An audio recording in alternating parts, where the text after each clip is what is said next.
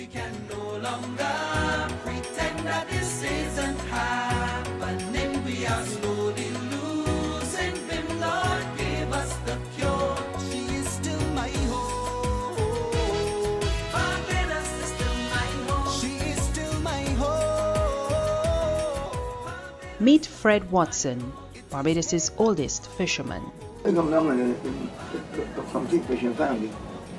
And really, I didn't want to be a fisherman, but I started teaching as a young boy. But then, things get started with my mother, with some children, and my brother, and breadwinner, and he died. So then I had no choice. So I started fishing, so I had my mother's children. At just 13 years old, the Martins Bay resident was the sole breadwinner of his family.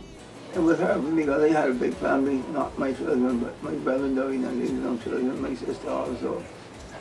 And they wanted, they wanted to work for her. The young Watson learned a lot and quickly in the early years. So I started getting lobsters, sea cats, crabs, then he started throwing net, then he kept fresh, small fish, then he started sailing, then he started negating, then he started snapping, then to the ocean, then fishing in still boats, then to the launches, then the ice boats, then the swim boats, you know, I've been fishing already like this. But it wasn't all hard work. Now you got enough pleasure in fishing. Hooking dolphins, catching flying fish, making no sport, have sailboat race, have launch races, and that, that make you feel happy. He recalled going adrift for several days with little way of calling for help. Martinique, went to. Vincent, and over Montserrat, went to St. Lucia. All those unbacked springs right up there. Spent six and eight days and seen the land, I seen nobody like there. We had any Christmas in those days like today. From by and all on their flag. First time it happened. Yes, the first time when you're going to place where you don't know the country that you're going in. And to the market, but speaking French and they don't know the French. Make the people. You don't know people ask, you know, you them don't know, but that, then them, then you go, Looking at the fishing industry today, Watson says he is pleased to see several improvements for fishermen.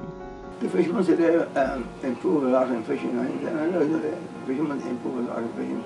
Although fishing becomes more difficult, and what then getting the fish have the use of entry CVT and them here stop a lot fishing. But it brought them going to fish that because I'm getting enough to, to stop one, stop the playing fish, but now the dolphins come. The that the fishermen call them, but they reckon up them is two fish enough there fish, don't know enough that be enough amber fish. So from one day next, the season was still good. Watson has received several awards for his contribution to fishing and has also taught numerous fishermen over the years. I learned not, not fishermen, not fishermen. I mean, not enough the fishermen today. That was grown men and got what I know but, uh, you see what sometimes we make fishing difficult. The house men want to go to man that, they don't want to give them any money, but not me. When the first time man was fishing, we get the same mug, here he got the boat saying, he got the same mug of death as me. he got the same of swimming, same mug of fight, you know. I give it for sure. Fred Watson says fishing remains an honorable profession and he would like to see more young people taking up the trade.